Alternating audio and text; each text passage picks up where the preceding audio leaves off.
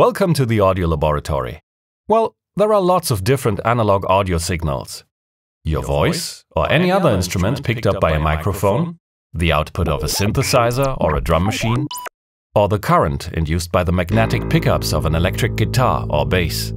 These are just a few common examples of analog signals, and before we can do anything with them inside of a computer, they need to be converted into digital signals. First, let's get ourselves an analog signal.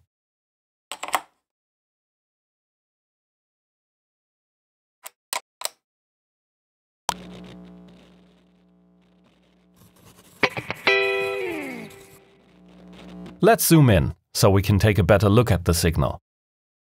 If we input this signal into our audio interface or sound card, it will at some point pass an analog to digital converter, or ADC for short.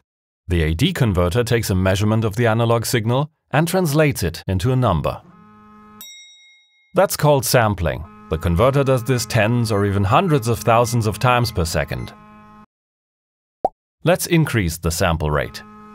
A higher sample rate allows us to capture more details or higher frequencies that a lower sample rate might have missed. That will of course take up more memory. Today's lowest standard for high-fidelity music is 44.1 kHz, which means that the digital signal contains 44,100 samples per second. What we are left with is this heap of data points, and that's essentially all a digital sound file is. These points are used in the computer to recreate our signal or at least a very close representation of it.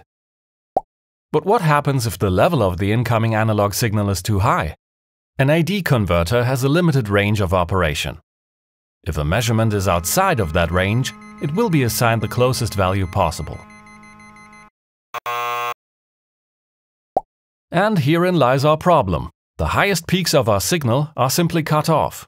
This is called digital clipping. And sadly, the result of this is not the kind of musical saturation or distortion you get when pushing a tape recorder or a tube amplifier to its limits. Quite the opposite. Digital clipping can be described as harsh, ripping, and unpleasant.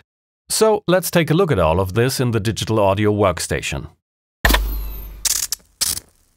There's a guitar signal coming into input 1 of the audio interface. Let's record it onto this track.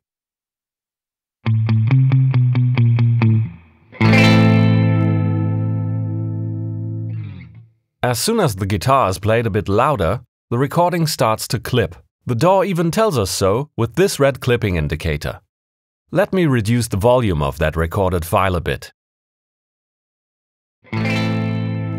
As you can see, you can't rescue a clipped recording simply by turning the volume down afterwards in the DAW. It is permanently damaged. That's why it's so important to properly set the recording levels beforehand on the audio interface. You want the signal to be loud enough that it is captured with a high detail across a wide range of the AD converter, but not too loud so that clipping happens. So, let's try again. I'll reset the clipping indicator by clicking on it. This time, I will actually check the signal levels before hitting record. This still clips, so I turn down the gain knob on my audio interface for input 1 until the signal reaches a safe level. I'm not trying to exactly hit the maximum level with my recording. It's always good to leave a bit of headroom. The performance could always become a little more dynamic than you first anticipated.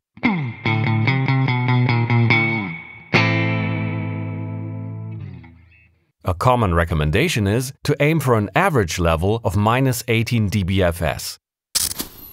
Remember, this is about capturing a good digital representation of your analog signal. If you want to make it louder or completely mangle and destroy it, you can always do that later in the process. And trust me, we will. That's it for this flashcard. Don't hesitate to leave a comment. And if you want to see more videos like this one, subscribe and ring the bell.